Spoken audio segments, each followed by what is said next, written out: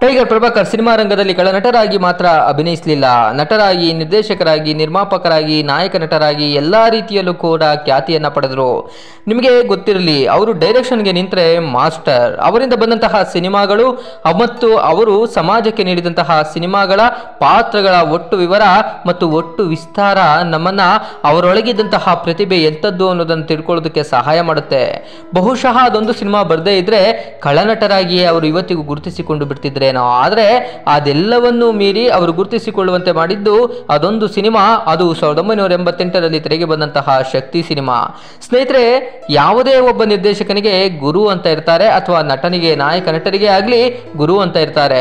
ಹಾಗಾದ್ರೆ ಪ್ರಭಾಕರ್ ಅವರಿಗೆ ಯಾರು ಗುರು? ಈ ಪ್ರಶ್ನೆ ಕೇಳಿ ಬರಬಹುದು ಅಥವಾ ತೂರಿ ಬರಬಹುದು? ಈ ಪ್ರಶ್ನೆಗೆ ಪ್ರಭಾಕರ್ ಅವರು ತಮ್ಮ ಮನಸ್ಸಿನಿಂದ ಉತ್ತರವನ್ನು ಕಂಡುಕೊಂಡಿದ್ದು ಹಿರಿಯ ನಿರ್ದೇಶಕ K S R Das K S R Das ಅವರ ಬಳಿ ಹಲವು ಕಾಲ ಸಹ ನಿರ್ದೇಶಕರಾಗಿಯೂ ಕೂಡ ಕೆಲಸ ಮಾಡಿದ್ದವರು ಪ್ರಭಾಕರ್. ಅಷ್ಟೇ ಅಲ್ಲ, ಅವರ ಸಿನಿಮಾಗಳಿಗೆ ಕಥೆ ಚಿತ್ರಕಥೆಯನ್ನು ಕೊಡುವಂತಹ ಪ್ರಯತ್ನವನ್ನು ಮಾಡಿದ್ರು. ನಿಮಗೆ ಗೊತ್ತಿರಲಿ, ಪ್ರಭಾಕರ್ ಅವರಿಗೆ ಮೊದಲ ಬಾರಿಗೆ ಡೈರೆಕ್ಷನ್ ಮಾಡಬೇಕು ಅನ್ನೋ ಆಸೆ ಬಂದಾಗ ಅದನ್ನ ಹೇಳಿಕೊಂಡಿದ್ದು ಕೆ ಎಸ್ ಆರ್ ದಾಸ್ ಅವರ ಬಳಿ. ಕೆ ಎಸ್ ಆರ್ ದಾಸ್ ಅವರು ಪ್ರೋತ್ಸಾಹ, ಬೆಂಬಲವನ್ನ ಕೊಟ್ಟು, ನೀನು ಮಾಡ್ತೀಯಾ, ಮಾಡು ಅಂತ ಹೇಳಿದ್ರು. ಅದರ ಪ್ರಯತ್ನದ ಫಲವಾಗಿಯೇ ಮೊದಲ ಸಿನಿಮಾ ತೆರೆಗೆ ಬರುತ್ತೆ. ಆ ಸಿನಿಮಾದಲ್ಲಿ ವಿಶೇಷವಾಗಿ ಶಂಕರ್ ನಾಗ್ ಅವರನ್ನು ಕೂಡ ಬಳಸಿಕೊಳ್ತಾರೆ. ಹೀಗೆ ಪ್ರಭಾಕರ್ ಅವರಿಂದ ಮೊದಲ ಬಾರಿಗೆ ನಿರ್ದೇಶನಕ್ಕೆ ಒಳಗಾದ ಸಿನಿಮಾವೇ ಸಾವಿರದ ಒಂಬೈನೂರ ಎಂಬತ್ತೆಂಟರಲ್ಲಿ ತೆರೆಗೆ ಬಂದಂತಹ ಶಕ್ತಿ.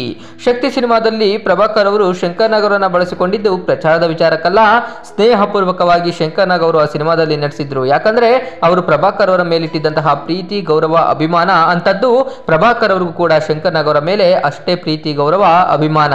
ಒಂದು ಸನ್ನಿವೇಶ ಬರುತ್ತೆ ಶಕ್ತಿ ಸಿನಿಮಾದಲ್ಲಿ.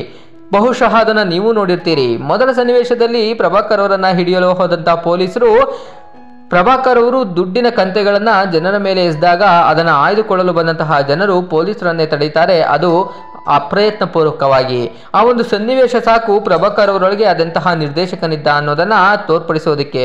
ನಿಮಗೆ ಗೊತ್ತಿರಲಿ, ಪ್ರಭಾಕರ್ ಅವರು ಮುಂದೆ ನಿರ್ದೇಶಕರಾಗಿ ಹೇಗೆ ಹೆಸರು ಮಾಡಿದ್ರೋ, ಆನಂತರವಾಗಿ ನಿರ್ಮಾಪಕರಾಗಿಯೂ ಹೆಸರು ಮಾಡ್ತಾರೆ. ಮುಂದಿನ ದಿನಗಳಲ್ಲಿ ಅವರು ಮಾಡಿದಂತಹ ಸಿನಿಮಾಗಳೆಲ್ಲವೂ super hit. Shakti Kaliyuga Bhima Mahendra Varma mister Mahesh Kumar, good, bad, ugly ಹೀಗೆ ತಮ್ಮ ಒಂದು ಆಲೋಚನಾ ಕ್ರಮದಲ್ಲಿ ಮತ್ತು ಕಾಲಾನುಕಾಲಕ್ಕೆ ತಕ್ಕಂತೆ ಸಿನಿಮಾಗಳನ್ನ ಮಾರ್ಪಡಿಸಿಕೊಂಡು, ಪಾತ್ರಗಳನ್ನ ಮಾರ್ಪಡಿಸಿಕೊಂಡು ಮತ್ತು ತಮ್ಮ ಕಥೆಯನ್ನ ತಮ್ಮ ಒಂದು ಅಂದಾಜಿಗೆ, ಆಲೋಚನೆಗೆ ತಕ್ಕಂತೆ ರಚಿಸಿಕೊಂಡು ಸಿನಿಮಾಗಳನ್ನ ನಿರ್ದೇಶನ ಮಾಡ್ತಾ ಇದ್ದಂತಹ ಪ್ರಭಾಕರ್ ಅವರಿಗೆ ಅತಿ ಹೆಚ್ಚು ಯಶಸ್ಸನ್ನು ಕೆಲವು ಸಿನಿಮಾಗಳು ಕೊಡ್ತವೆ.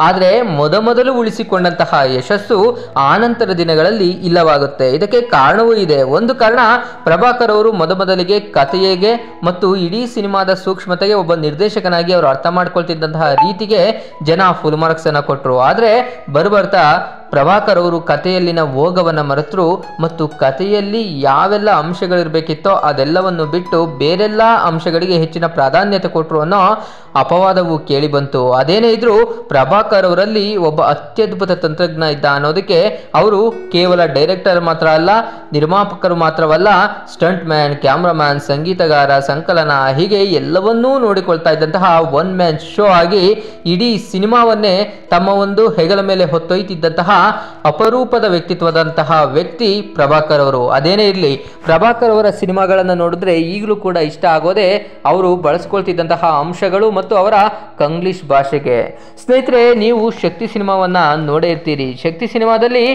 ಪ್ರಭಾಕರ್ ಅವರು ಬೇರೆಯದೇ ರೀತಿಯಲ್ಲಿ ಒಂದು ಕಥಾವಸ್ತುವನ್ನ ಕೊಡೋದಕ್ಕೆ ಪ್ರಯತ್ನವನ್ನ ಮಾಡಿದ್ರು. ಇದಕ್ಕೆ ಶಂಕರ್ ನಾಗ್ ಅವರು ಸಾಥನ್ನ ಕೊಟ್ಟಿದ್ರು. ಕೆ ಎಸ್ ಆರ್ ದಾಸ್ ಅವರು ಮೂಲ ಕಥೆಯನ್ನ ಒದಗಿಸಿದ್ರು. ಯಾಕಂದ್ರೆ, ಮೊದಲ ಬಾರಿಗೆ ಶಂಕರ್ ನಾಗ್ ಅವರನ್ನು ಹಾಕಿಕೊಂಡು ಸಿನಿಮಾವನ್ನ ಮಾಡಬೇಕು ಅಂತ ಯೋಚನೆ ಮಾಡಿದಾಗ ಕತೆ ಹೇಗಿರಬೇಕು ಅಂತ ಪ್ರಭಾಕರ್ ಅವರು ಆಲೋಚನೆ ಮಾಡ್ತಾರೆ.